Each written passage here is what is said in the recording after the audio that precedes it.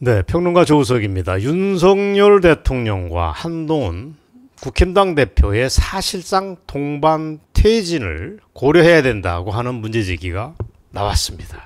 그것도 자유우파 내부에서 등장을 했습니다. 윤석열, 한동훈 동반 퇴진이야말로 본인들도 살고 대한민국이 살 수 있는 길이라는 그런 목소리입니다. 여러분 다소 뜬금없이 들릴 수도 있으실 겁니다. 이게 무슨 얘기냐? 배경이 뭐냐? 오늘 15일과 25일에 이재명 선거법 와 위증교사 선고 공판이 열리는데 여기에서 이재명한테 무죄가 나올 경우 그 정치적인 악마가 바로 대권 진출의 활로를 보장하는 결과가 된다.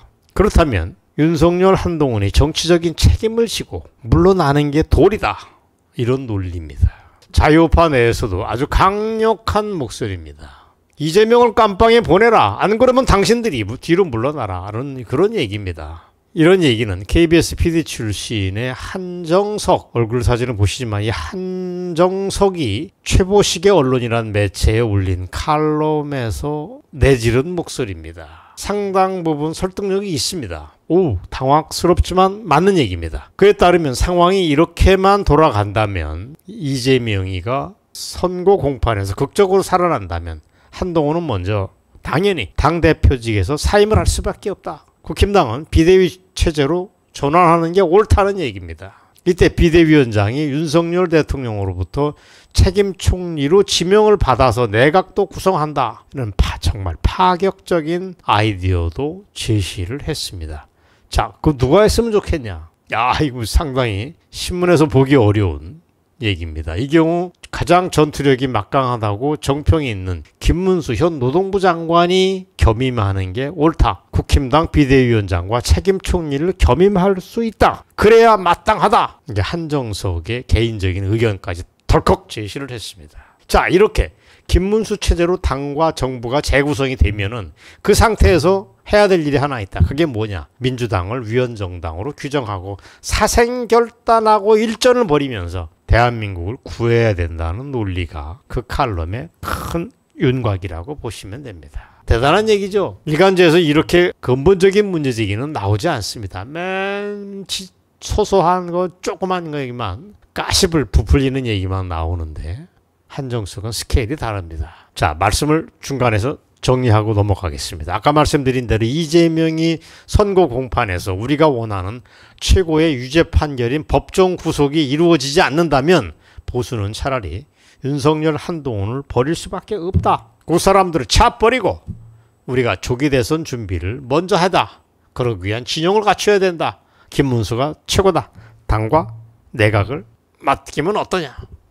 그야말로 대한민국 최강 진영으로 정부를 끌어갈 수 있고 안 그러면 방법이 없다는 얘기입니다. 자 어떠십니까? 얼마나 윤석열 한동훈에게 질렸으면 이런 문제 제기를 할까 싶은 생각이 우선 듭니다.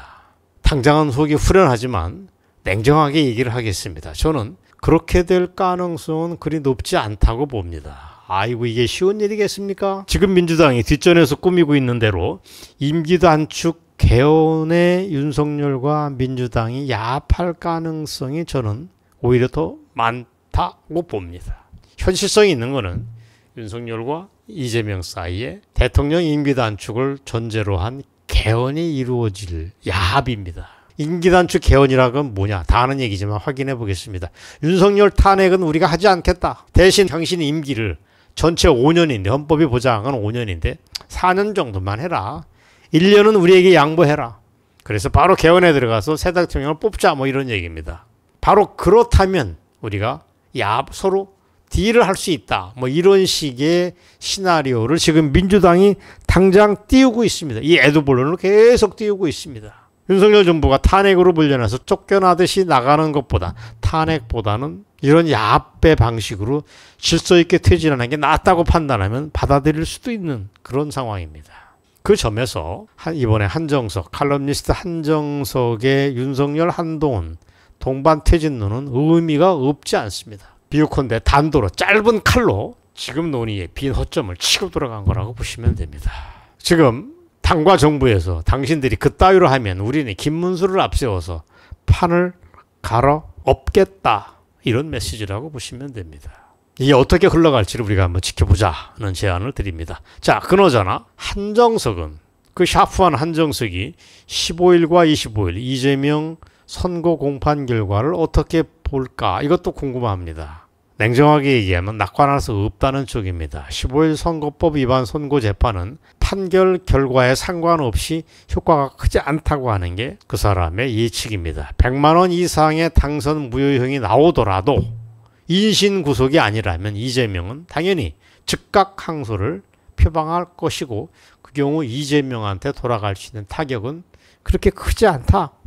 그런 얘기를 합니다. 문제는 열흘 뒤인 25일 위증교사 선고심입니다. 역시 법정 구속이 아닌 집행유예 나 법정 불구속이 나오면 불구속이 나오면 역시 이재명은 즉시 항고를 주장하면서 뭐 국민 여러분께 심려를 끼쳐드려서 죄송합니다. 뭐 이런 식의 사과를 하면서 또 어영부영 빠져나가면 우리는 멍하고 지켜볼 수밖에 없습니다.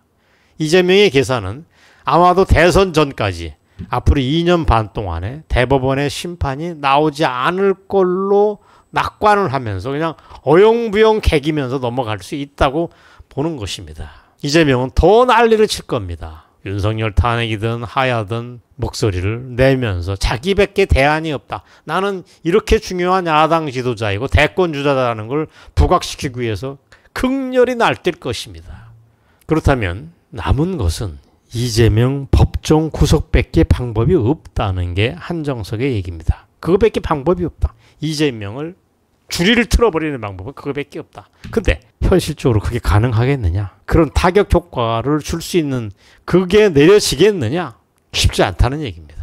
심지어 위증교사 혐의에서 무죄가 날 것이라고 보는 법조인들도 있다는 게 한정석의 전망인데 저도 이런 얘기를 많이 듣고 있습니다. 자, 문제는 우리는 점쟁이가 아닙니다.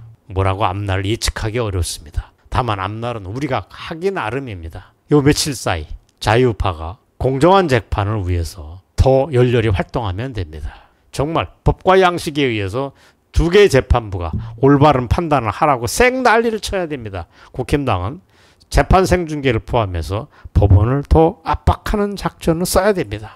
앞으로 일주일 사이, 며칠 사이에 대한민국 운명이 바뀌고 그럴 수도 있다 는 제안을 새삼 드립니다. 어쨌든 한정석이란 용감한 사나이가 문제 제기한 윤석열과 한동훈의 동반 퇴진론 얘기는 정신이 번쩍 나는 얘기입니다. 여러분과 함께 공유를 하는 방송을 오늘 마무리를 짓겠습니다. 감사합니다.